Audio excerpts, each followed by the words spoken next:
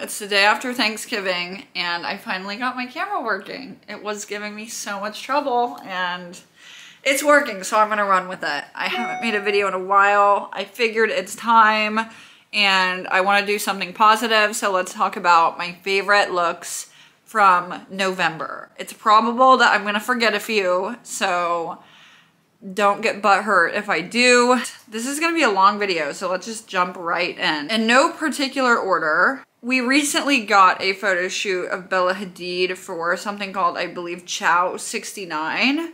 Not really sure what that is, but I believe it was shot by Nadia Lee Cohen, and she gave us this gorgeous photo series of Bella Hadid in, I believe, Chanel. It's rare that you see Chanel styled interestingly nowadays, but I think it's still its best when it's the classic Chanel vibes, I guess. And I think that this is the epitome of that with the tweed like coat and in this beautiful classic white color with gold detailing, the Chanel belt. It's just really beautiful. I'm obsessed with her hair here. I think it's the most beautiful thing I've ever seen. The minimal makeup. This feels very cool Chanel and we don't get that often so I was very excited to see this. It's really beautiful. Madelyn Cline wearing Alexander Vauthier. She looks amazing. She honestly has looked amazing this entire month and she is styled by Mimi Cuttrell. I've talked about this before, but I think that they do the most amazing work together because Madelyn Cline dresses like an A-list star and I don't think she's fully there yet. Like, yeah, she's in Knives Out too. She's been in Outer Banks, but like for the looks that she pulls with her stylist, these are some like A-list looks. And I think they're really helping to elevate her entire career. I mean, I think it's like keeps her on people's minds, keeps her being talked about, keeps her on best dress lists, lists at events with other A-listers. And I just think it helps her out. And I think this is an example of that. I think this color is really unique. I love the monochrome look with the boots. I think the hair works here almost as an accessory. She looks really beautiful. I also used to live right next door to this hotel, so um, that's also crazy. I like the Sofia Richie look. There's not a whole lot going on, but I always have liked Sofia Richie's style, and I feel like it's progressed with her, and I think this is an example of that, kind of her more mature, sophisticated era. And this is just a really chic, sophisticated look. This Anna Delvey look is kind of hilarious to me. I kind of love it just because of the details. I did talk about this on my TikTok, but um, like, I mean, if I saw someone on the street wearing it, I don't think it would be a show-stopping look, but for her, it's funny because the boot are, I love this style boot also, I always have, but the one unzipped for the ankle monitor I think is kind of amazing. The camo coat is just, you know, I love a camo. I love a huge coat and this is that is kind of falling off her shoulder to expose this t-shirt that has a photo of her face on it, which I think is great. I think it would have been great if she wore the sunglasses from this photo instead of these sunglasses, but I also think these sunglasses are kind of funny. Um, they feel a little dated, but she has been locked up, so it's not shocking that she has some dated pieces. The Wall Street Journal, she's holding it like it's an accessory, so I'm considering it an accessory, and I think it's funny just considering her and her background that she's using the Wall Street Journal as an accessory. And then the blowout is very just it's perfect looking. It's great. And then last but not least, the A emblem on her neckline, which is feels like a direct reference of the Scarlet Letter, um, but also her name is Anna. So um, I love that. I have a bunch of Jenna Ortega looks. Obviously, she's been actively promoting Wednesday, so she had a lot of really great looks this month, and this is one of them. I love this. It's just a really chic, perfectly fitted suit, which I love for her. And I love that all the looks I'm going to talk about, all her looks from this month and previous ones that are kind of related to Wednesday, have really felt like something Wednesday Addams would wear. The tie is like a black lace, which seems to be a theme throughout all of these Wednesday promotional looks, which I like because it feels very Wednesday Addams. The bag is nice structured to go along with the structured look. The only thing I don't love is the lining of the jacket, but that's not really something we would be seeing if it weren't Wendy, so that's fine. I love it. I think the hair is really cute. She just looks so cute promoting the show and it made me want to watch the show. And again, I think that's an example of how powerful good styling is can make you really want to watch a show that I otherwise probably honestly wouldn't have even known about. I honestly didn't even really know who Jenna Ortega was until I started seeing these really great cute looks from her. Next look is Kendall Jenner wearing Bottega. She's leaving a forward photo shoot. So yeah, she's not like out and about on the street. This was a controversial post on my TikTok. I love this look. I don't even care. It's straight from the runway. And I know people are shocked about the no pants thing, but in my, like normal tights don't look like this. Like it's not like she threw on a pair of like tights from CVS and went outside. It's I don't know what tights y'all are buying that look like this, that are this opaque at the top. Normal tights are very sheer still at the top, like you would fully be able to see her underwear. And I'm thinking that these Bottega tights are, you know, they have this opaqueness at the top that allows you to kind of wear them as pants. And I, I mean, I would wear them. I think they're cool. I always, honestly, whenever I'm wearing tights, I feel really like good in them. I feel even when I take them off, I'm like, I feel like cute in these tights. Like I feel like they're really flattering. And I think that this shows that. It makes your legs look miles long with the plain black kind of court shoe. It feels very Kendall, kind of has this vintage feel with those shoes. I think the sweater is navy blue. This kind of, you know, I've never been a mixing of navy blue and black person, but this is kind of changing my mind on that. Uh, which doesn't happen many times. And the sweater feels very her. She This outfit feels very her. She has very simple style, but it's always chic.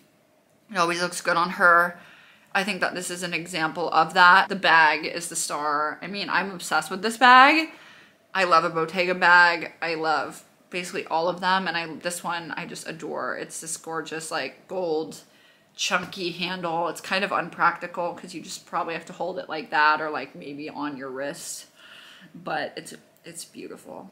Elsa Hosk, I love this. This is, I believe, a coat from her line called Helsa Studio that they sell on Revolve and Forward, I think. I love this coat. She said she designed it so you could wear it as a dress like she is here or a coat. I think that cinch waist really differentiates it from every other black coat ever made. Um, because it just looks really structured, really pretty. It gives you a waist. The little patent YSL bag is cute. The shoes are very cute. I love a tight black shoe. The crazy sunglasses, which look like Balenciaga, are nice as well. I think they give this more of like a, I don't know, kind of fashiony vibe. Emily Rada out in New York wearing Versace. I don't know where she was going in this look, but I'm I love it. It's amazing. I love her and Versace in general. This top is great with the big gold Versace emblem along the waist as a belt. Um, I believe that's just part of the top, but it's really nice. The earrings to match are really nice. The bag is cute, and I don't usually love a Versace bag, but this cute little one brings out the gold in the top, a plain black skirt, um, and then a big black boot. I think this is just a really nice look. I think it looks really good on her. It's so chic. It's so cute. Emma Chamberlain wearing Loewe. This is great. I love this. Even her man's looks good. I like his outfit too. This little button down and the shorts with loafers and socks. I think that's really cute. But I love hers. I love the matching lipstick with the dress. The dress looks like it's in movement here. Um, but the amazing thing about it is that even if she were standing still, it would still have the same shape on the bottom that looks like it's moving and twirling. Um, it's not, it's just the way the dress was like constructed, which I think is really cool. I love it. Margot wearing Bottega. This is great. I really have been appreciating Margot wearing Bottega this month and switching from Chanel. She still has been wearing Chanel recently, so I don't think we're fully out of that yet, unfortunately, but her Bottega looks have been perfect for her. And they're so refreshing to see, and this is great because it looks so simple. It looks like a white shirt and jeans, but if I'm not mistaken, the jeans are actually leather. So it's a leather pant, but it looks exactly like jeans, which is insane. Um, but it's crazy. Like just, it looks like jeans, but I love the style of Bottega Cassette. It's the texture just looks so cool. I've never seen this in person, but I really want to. I want to touch it because it looks like a really cool texture and I'm kind of obsessed with it in the classic Bottega kind of green shade. Jenna Ortega again wearing Dion Lee. I've talked about this look so many times, I feel like, but it's amazing. And it was definitely one of my favorites this month. I think her updo is really cute. The red lip is so cute and makes this super folly. I love the dress with the cutouts. I think it's really flattering. The lace, it almost looks like she's wearing like a lace cat suit under the dress, but it's all one. I love the arm sleeve things that go over her hands. I think that's so cute. I want this dress. I'm obsessed with it. It's nice to see Dion Lee. Feel like we don't see it that often. That's a brand I really love. And I think these shoes are amazing. All right, obviously Taylor Russell and Schiaparelli. This was amazing. This dress is amazing. It has this like crazy artistic, almost looks like wire or something over the heart. Um, and this cutout corset is just so cool. It fits her so well. Red looks amazing on her it's like art. It's truly so pretty. And I thought it was so pretty in the shot. She has been absolutely killing it. I feel like we'll see a couple of her looks in this video, but this was obviously one of the best of November. Also, one of the obvious winners was Kylie Jenner at the Brooklyn Museum wearing Mugler. It's just a really great look. She wore a variety of different Mugler pieces for this look. I believe the like the dress was from a completely separate collection as the crown, but I love them paired together. It's just so cool. Like it's so futuristic. The crown is almost giving alien or something. Um, but it's so, it's just so pretty. Like it's so artistic and it has these really pretty jewels hanging down. And she really looks like a Mugler queen. And then the dress just fits her obviously so amazingly well. Her body type is like made for Mugler, I feel like. So, um, I mean, it's just great. It fits her so well. She could barely walk in it, but I, I, I love the, the effort she'll put in to pull a look. And, um, couture, I don't think is like meant to be super practical. So it's not, it doesn't bother me that she couldn't really walk in it. I love it. All right, Anya Taylor-Joy. I think that this red is just the prettiest color I've ever seen on her and I hope we see more of it, especially as the holidays are approaching. And I love this look. I love the different textures, the patent leather trench mixed with this like lacy dress. I think it's just really, really nice. And honestly, I'm, I'm, I love that coat a lot and I just love the color on her and that's kind of selling it for me. But she looked really good. She has been looking really good. She always looked really good. I love that. Oh, another Emily Rada look that I loved was this one. I think it's just really classic. Little khaki skirt, belt, well-fitted black bodysuit, well-fitted brown leather jacket. We're mixing a bunch of different neutral tones here. It's screaming fall. The Christian Dior saddlebag, the boots. Again, I think this is a, an outfit that a lot of people can replicate with pieces in their closet. And it's just a perfect fall street style outfit, in my opinion. I think it looks really good on her. I love it. You can't really go wrong with mixed neutrals. I love this Kendall Jenner coat. I actually, I forget who it's by, but I, I think I put it in my Selena Gomez styling video, um, like two days before Kendall Jenner was wearing it, which was crazy. Great minds think alike. I love this coat. I think it's so fun and I feel like Kendall is really in her fun fall coat era. She's been rocking a couple. This is my favorite. I honestly wouldn't have thought her to wear it because she's usually more understated. I feel like more neutrals in her fashion choices, but I think it looks amazing on her. And she's so tall that this sort of crazy coat doesn't overwhelm her. She found the perfect boot to match that kind of like maroon brown shade of the coat. You can just wear literally leggings. It looks like she's wearing underneath it because the coat is so loud. The coat can be the entire outfit. I love coats like that. She looks great. Kylie in New York. She really was, you know, queen of November, low key. Her, Taylor Russell, and Jenna Ortega, I feel like were the three, and kind of Emily Rod, I guess, that really ate up November. She was in New York as well. And I love this look. Again, it's simple, but I love the way it fits her. The layering here is nice. I like the kind of sexy cardigan. The way it's buttoned, I think looks amazing with the chunky gold jewelry. Uh, I remember that was like, I feel like such a Kardashian thing was this like chunky gold jewelry. I think that Kanye was doing jewelry at the time and this kind of reminds me of that. And I feel like we haven't seen it in a while and I love it here. I love this cardigan. I think that it's just so cool. The button area being so wide, I think is really nice. Um, it looks like she layered a fuzzy cardigan on top of that. Obviously, it's probably quite chilly in New York. And then this great oversized trench coat is really nice too. Taylor Russell in Schiaparelli. Um, this was for the Governor's Awards. I love this. It's a really simple dress. I think that the back was super low cut and really, really pretty. But it fits her really well. And then the focus is obviously these crazy Schiaparelli earrings, which are amazing. Um, I don't know how like they work because they look like they would be 20 pounds, but um, they must be like wrapped around her whole ear or something. I have no idea, but with the hair, I think that it's just really pretty. And I love these eye earrings. I think they're so fun. And they're huge, so it works that they're the focus of the look and that the rest of the look is very simple. I love this Bella Hadid photo shoot.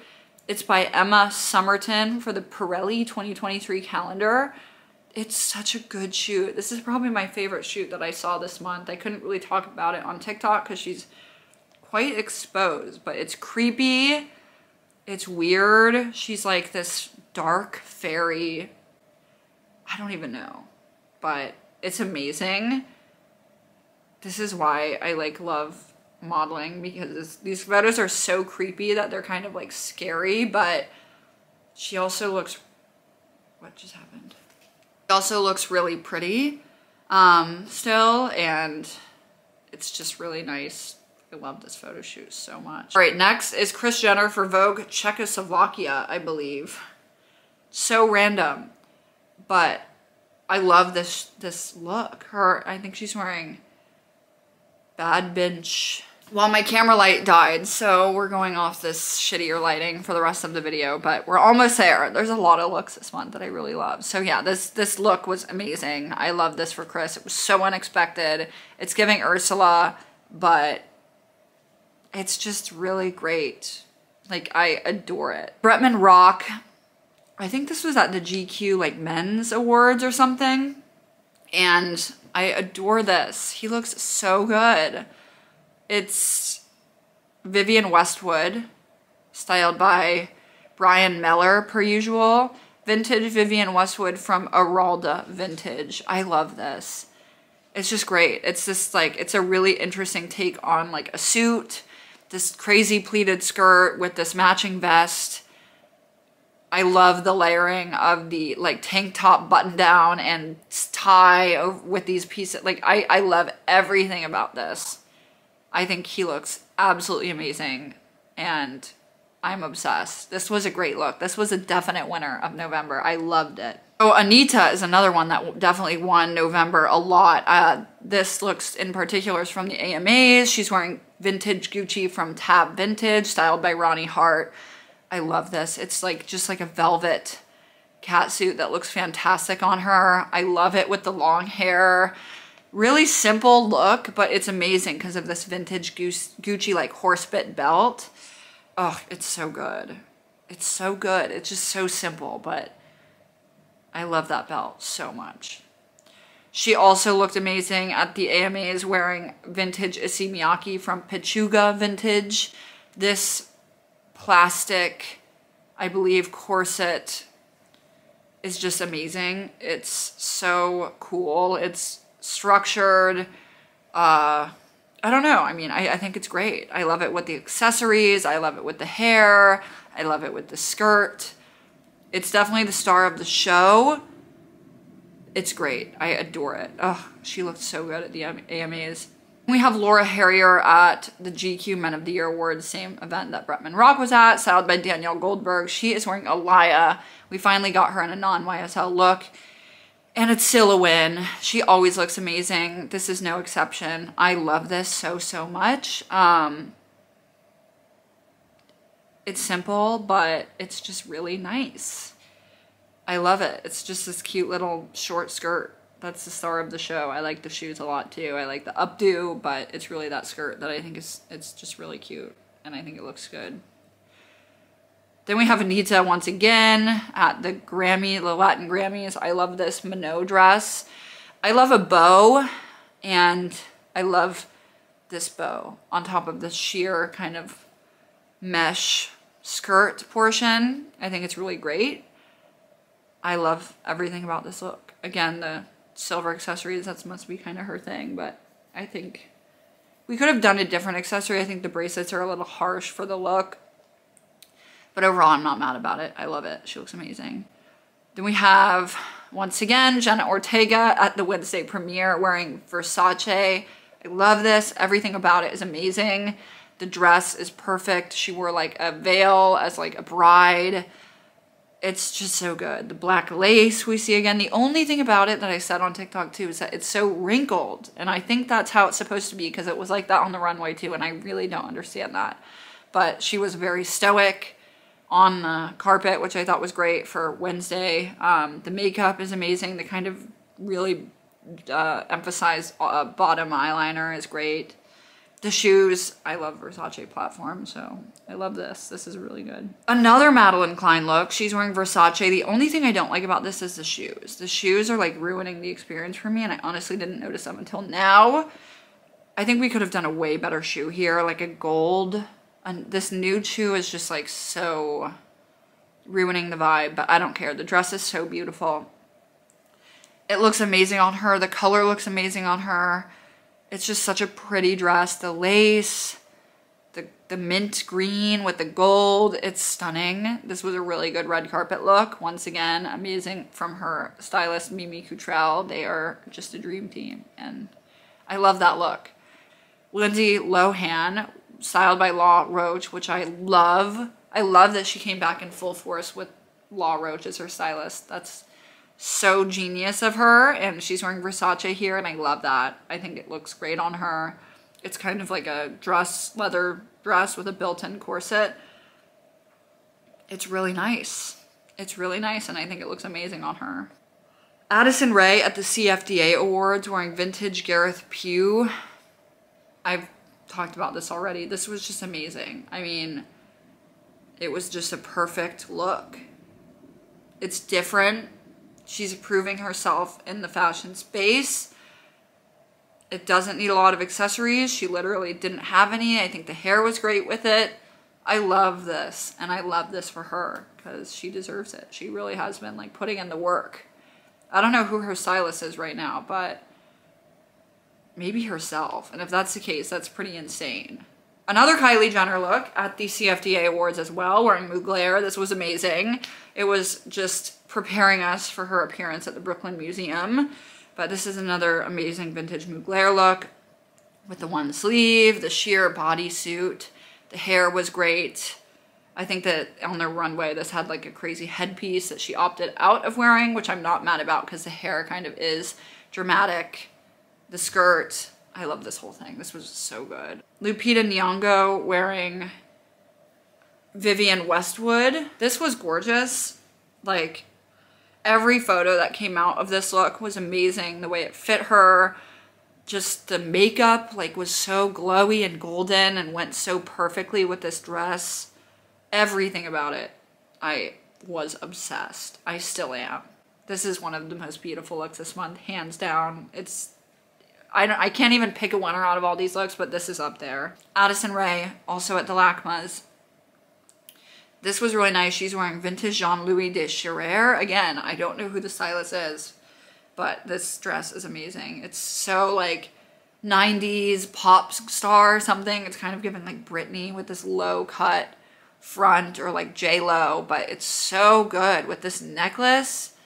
Oh, she looks amazing. The minimal makeup with this look and the other look I think works. The like, you know, loose waves, very effortless with this really intense, beautiful dress. She low-key won the red carpet at this event, which is insane. And even more insane if she doesn't have a stylist, but kudos to her. I, I'm so happy for her. At the AFI Film Festival, we have Taylor Russell wearing Loewe. This is so good. I love this dress on the on the runway. I love it in the yellow color. I love it on her on the carpet. I think it's just so pretty and I love her hair. It's like a bow. Her hair looks like a bow and then we have this big bow. I love bows clearly. The cutouts. I love everything about this. It's great. Then we have Letitia Wright wearing custom Prada at the Black Panther Wakanda Forever premiere. This was also amazing. There's so many good looks this month. It's crazy. This was just so pretty, so simple, just gorgeous. Like, she looks so good in it. I adored this look. Another look from this carpet that I adored was Jourdan Dunn wearing Standing Ground. This color on her is just everything. The way it was styled with her hair and the earrings and then the bracelets I thought was just beautiful. I so preferred it on her over the runway. I thought it was just so good. I love this look. This was like her and Letitia's were stand out to me on that carpet and I don't think Jourdan Dunn was even in the movie, so good for her. Last look, Harry Styles wearing Gucci at the My Policeman premiere. I felt like this was a mature look from Harry, which we don't usually get. Honestly, a lot of his looks give little boy energy, which is sad because he used to be a Saint Laurent man and he used to wear like only chic, mature, black, neutral colored looks. And I don't know where that went. I miss that energy, but I thought this was really nice. I love the Gucci like logo belt. It's very subtle, but I feel like it's there. And I think the suit feels nice. It kind of gives uniform, which works for the movie. And it fits him really well. Those are all the looks. That was long. I'm gonna have to cut this down a lot, but um, thanks for watching. And I'm super excited for December, especially with the holidays coming up. I feel like we'll get a lot of great looks around the holidays. So I'll see you next time.